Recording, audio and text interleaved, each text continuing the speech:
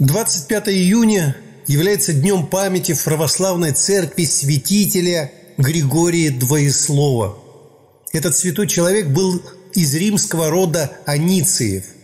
Два римских папы были из этого рода до Григория Двоеслова, а также к роду этому принадлежал философ Боэций.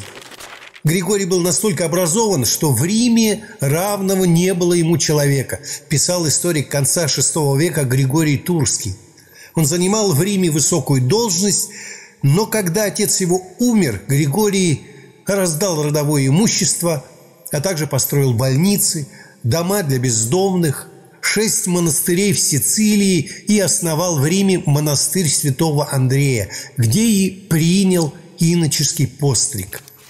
Святой Григорий хотел молиться и только – но папа Пелагий II назначил его в Константинополь своим представителем.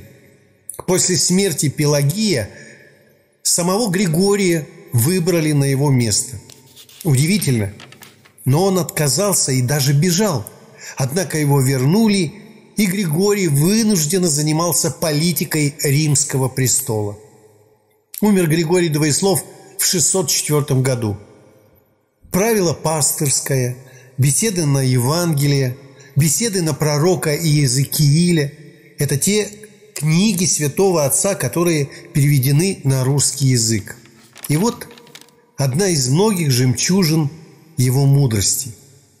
Подавая лежащему на земле, мы подаем сидящему на небе.